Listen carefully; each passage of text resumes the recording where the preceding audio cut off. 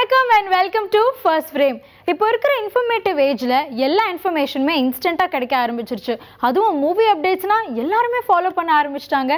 நம்ம ஃபர்ஸ்ட் ஃப்ரேமில் அந்த மாதிரி இன்ஸ்டண்ட்டாக இமீடியட்டாக மூவி அப்டேட்ஸ்லாம் டெய்லி பார்த்துட்ருக்கோம் அந்த வகையில் இன்றைக்கி நிறையா இன்ட்ரெஸ்டிங்கான சினிமா அப்டேட்ஸ்லாம் லிஸ்ட்டில் இருக்குது ஃப்ரேமில் ஃபர்ஸ்ட் நம்ம பார்க்க போகிறது ஹேஷ்டேக் கோலிவுட் அப்டேட்ஸ் இப்போ தமிழ் சினிமாவில் என்ன தான் நடந்துட்டு இருக்கு நெக்ஸ்ட் என்ன படங்க ரிலீஸ் ஆக போகுது?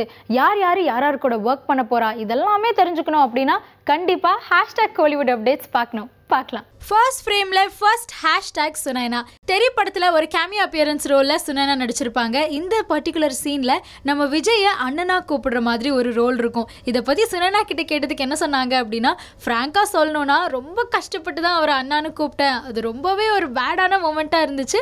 பட் திரும்பி பார்க்குறப்போ ஒரு நல்ல எக்ஸ்பீரியன்ஸாக இருந்துச்சு. ஏன்னா அட்லீஸ்ட் சாரும் விஜய் சாரும் எனக்கு நிறைய இன்புட்ஸ் கொடுத்தாங்க.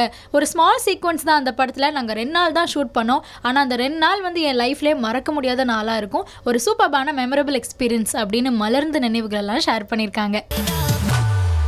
ஃபர்ஸ்ட் ஃப்ரேமில் நெக்ஸ்ட் ஹேஷ்டேக் இரும்பு திரை பிஎஸ் மித்ரன் டைரக்ஷனில் விஷால் அண்ட் சமந்தா நடித்த படம் தான் இரும்பு திரை இந்த படம் போன வாரம் ரிலீஸ் ஆச்சு.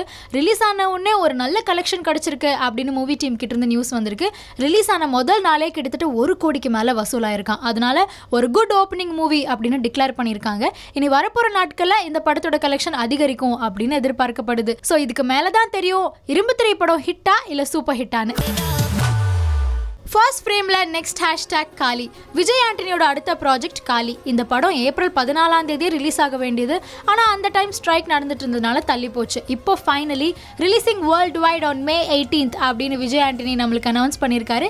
மே பதினெட்டாம் தேதி கண்டிப்பாக காலி படத்தை நீங்கள் எதிர்பார்க்கலாம். ஃபேமிலி ஆடியன்ஸ் மட்டும் இல்லாமல் யங்ஸ்டர்ஸ் வயசானவங்க எல்லாத்துக்குமே அந்த படம் பிடிக்கும் அப்படின்னு சொல்லியிருக்காரு. So let's wait till May eighteenth for Kaali first ஃப்ரேமில் நெக்ஸ்ட் ஹேஷ்டேக் செயல் நம்ம தளபதியோட படங்கள்லேயே ஷாஜஹான் படத்தை மறக்கவே முடியாது.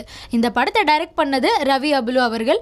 கிட்டத்தட்ட பதினேழு வருஷத்துக்கு அப்புறமா this director is back in to action Shahjahan படத்தை பற்றி சொல்லணும் அப்படின்னா கல்ட் கிளாசிக் மூவி அப்படின்னு கூட சொல்லலாம். இப்போ வரைக்குமே விஜயோட ரொமான்ஸ் மூவி லிஸ்ட் எடுத்து பார்த்தா ஷாஜஹானுக்கு ஒரு டாப் இடம் எப்போவுமே இருக்கும்.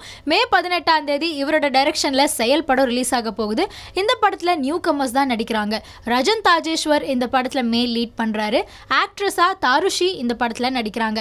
அண்ட் அது மட்டும் இல்லாமல் இந்த படத்தோட music is got by Siddharth Vipin Idharku Thane Aasaipattai Balakumara fame so இந்த மாதிரி நிறைய வித்தியாசமான விஷயங்களெல்லாம் செயல் படத்தில் அடங்கியிருக்கு.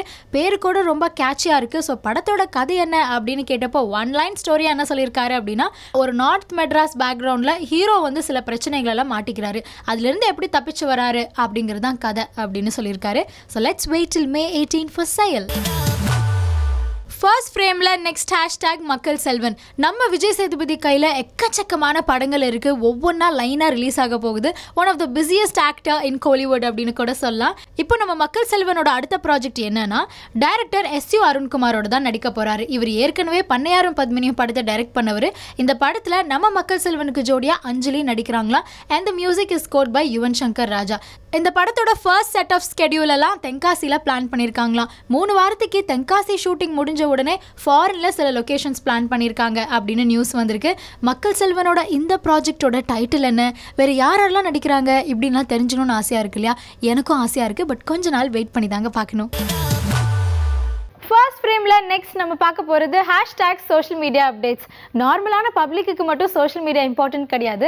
எஸ்பெஷலி என்டர்டைன்மெண்ட் இண்டஸ்ட்ரிக்கு ரொம்பவே இம்பார்ட்டன்ட் அப்படின்னு கூட சொல்லலாம். ஆன் தி அதர் சைட் நம்மளுக்கு ஏதாவது மூவி அப்டேட்ஸ் தெரிஞ்சுக்கணும்னா கூட சோஷியல் மீடியா தான் ஒரு பெரிய சோர்ஸாக விளங்கிட்டு இருக்கு. அந்த அளவுக்கு அவங்களோட ப்ராஜெக்ட்ஸ் பற்றி ஏதோ ஒன்று டிஸ்கஸ் பண்ணுறாங்க ஃபர்ஸ்ட் லுக் போஸ்டர் எப்போ ரிலீஸ் பண்ணுறோம் அப்படிங்கிற டைம் முதல் கொண்டு சோஷியல் மீடியாவில் தான் சொல்கிறாங்க அந்த வகையில் இன்னைக்கு என்னென்ன சர்ப்ரைசிங் அப்டேட்ஸ் இருக்குது அப்படிங்கிறதுலாம் ஹேஷ்டேக் சோஷியல் மீடியாவில் பார்த்து கேட்டு தெரிஞ்சுக்கலாம். ஃபர்ஸ்ட் ஃப்ரேமில் நெக்ஸ்ட் ஹேஷ்டேக் ஸ்ரீகாந்த். ரோஜா கூட்டம் படம் ஹிட் ஆன மாதிரி ஸ்ரீகாந்துக்கு வேறு எந்த படமுமே ஹிட் ஆகல. ஆனால் விஜயோட இணைந்து நண்பன் படத்தில் நடிச்சிருந்தாரு. அது ஒரு பிளாக் பஸ்டர் ஹிட் இப்போது Srikanth is back in to action அப்படின்னு தாங்க சொல்லணும். அடுத்து ஸ்ரீகாந்த் நடிக்க போகிற படம் உன் காதல் இருந்தால். இந்த படத்தை டைரக்ட் பண்ணுறது ஹஷீம் அவர்கள். இதை பற்றி நம்ம ஸ்ரீகாந்த் கிட்ட கேட்டதுக்கு என்ன சொல்லியிருக்காரு அப்படின்னா ஸ்கிரிப்ட் கேட்டோன்னே எனக்கு ரொம்ப பிடிச்சிருச்சு. ஆனால் இந்த ரோல் என்னால் பண்ண முடியுமா அப்படின்னு நான் தயக்கத்தில் இருந்தேன். ஆனால் டைரக்டர் தான் இருந்துட்டு கண்டிப்பாக இந்த ரோல் உங்களால் பண்ண முடியும். நீங்கள் கண்டிப்பாக இந்த ப்ராஜெக்ட்டை ஓகே பண்ணும் அப்படின்னு நான் ரொம்ப கன்வின்ஸ் பண்ணார். அண்ட் இந்த ப்ராஜெக்ட் தமிழில் மட்டும் ரிலீஸ் ஆகாமல் மலையாளம் தெலுங்கு இப்படின்னு ஒரு ட்ரைலிங்குவல் ப்ராஜெக்டாக இருக்குது அதுவுமே எனக்கு ரொம்ப பிடிச்சிருந்தது. மலையாளம்ல எனக்கு இது ஒரு பெரிய பிரேக்காக இருக்கும் அப்படின்னு சொல்லியிருக்காரு. இந்த படம் மட்டும் இல்லாமல் இன்னும் நிறைய படங்களுக்கான கதையெல்லாம் கேட்டுட்ருக்கேன். So this year is gonna be busy அப்படின்னு லைட்டாக ஒரு ஹிண்ட் கொடுத்துருக்காரு. ஸோ ஸ்ரீகாந்தோட அடுத்தடுத்த ப்ராஜெக்ட்ஸ் எல்லாம் என்ன எப்படிங்கிறதெல்லாம் வெயிட் பண்ணி பார்க்கலாம். ஃபர்ஸ்ட் ஃப்ரேமில் நெக்ஸ்ட் ஹேஷ்டேக் அண்டாவை காணும். என்னடா பேரே வித்தியாசமாக இருக்குது அப்படின்னு தானே நினைக்கிறீங்க? எனக்கும் சேம் ஃபீலிங் இந்த படத்தில் ஸ்ரேயா ரெட்டி நடிக்கிறாங்க and this movie is directed by Velmathi. இந்த படத்தோட ரிலீஸ் ஜூன் இருபத்தொம்போது இருக்கும்னு எதிர்பார்க்கப்படுது. இந்த படத்தை பற்றி ஸ்ரேயா ரெட்டி கிட்ட கேட்டப்போ என்ன சொல்லியிருக்காங்க அப்படின்னா ஃபர்ஸ்ட் ஆஃப் ஆல் இந்த மாதிரி ஒரு ரோல் அப்படின்னு நான் கேட்ட உடனே ரொம்ப ஹெசிடென்ட் ஆயிட்டேன். ஆனால் ஃபிலிம் மேக்கர் தான் இந்த ரோல் கண்டிப்பாக உங்களுக்கு ஆப்டாக இருக்கும் அப்படின்னு சொன்னார். So all credit goes to him அப்படின்னு சொல்லியிருக்காங்க. ஃபர்ஸ்ட் ஃப்ரேமில் நெக்ஸ்ட் ஹேஷ்டேக் தனுஷ் இப்போ தனுஷோட அடுத்த தமிழ் படம் என்ன அப்படின்னு கேட்குறவங்கெல்லாம் அடுத்த ஹாலிவுட் படம் எப்போ ரிலீஸ் ஆக போகுது அப்படின்னு கேட்க ஆரம்பிச்சிருக்காங்க. ஏன்னா அது extraordinary journey of the fakir படம் கேன்ஸ் ஃபெஸ்டிவலில் ஸ்க்ரீன் பண்ணியிருக்காங்க. அண்ட் அதே கேன்ஸ் ஃபெஸ்டிவலில் ஏராளமான மக்களுக்கு முன்னாடி தமிழ் டைட்டிலையும் லான்ச் பண்ணியிருக்காங்க. இது சம்மந்தப்பட்ட ஃபோட்டோஸ் எல்லாம் தனுஷ் சோஷியல் மீடியாவில் போஸ்ட் பண்ணிகிட்ருக்காரு பயங்கர வைரலாக இந்த ஃபோட்டோஸ்லாம் ஸ்ப்ரெட் ஆகிட்டுருக்கு அடுத்தடுத்து இந்த தனுஷோட ப்ராஜெக்ட்ஸ் எல்லாம் என்ன? அண்ட் இந்த படம் தமிழில் எப்படி ஹிட் ஆக போகுது? இப்படிங்கிறதெல்லாம் வெயிட் பண்ணி தாங்க பார்க்கணும். ஃபர்ஸ்ட் ஃப்ரேமில் நெக்ஸ்ட் ஹேஷ்டேக் கீர்த்தி சுரேஷ். நம்ம Keerthy Suresh presently Thalapathy sixty two படத்தில் நடிச்சிட்டு இருக்காங்க. ரீசெண்டாக அவங்களோட நடிகர் திலகம் படம் ரிலீஸ் ஆகி சூப்பர் டூப்பர் ஹிட்டாக போயிட்டுருக்கு. தெலுங்குலேயும் அவங்களுக்கு ஏராளமான பேர் பாராட்டிட்டு இருக்காங்க. நம்ம தமிழ் இண்டஸ்ட்ரியிலும் எக்கச்சக்கமான பேர் பாராட்டி தள்ளிட்டு இருக்காங்க. இந்த ரெண்டு இண்டஸ்ட்ரி மட்டும் இல்லாமல் இந்தியா முழுக்க அவங்களுக்கு ஏராளமான பாராட்டுகள் வந்து குவியுது. நம்ம தளபதி இதில் பாராட்டாமல் இருப்பாரா?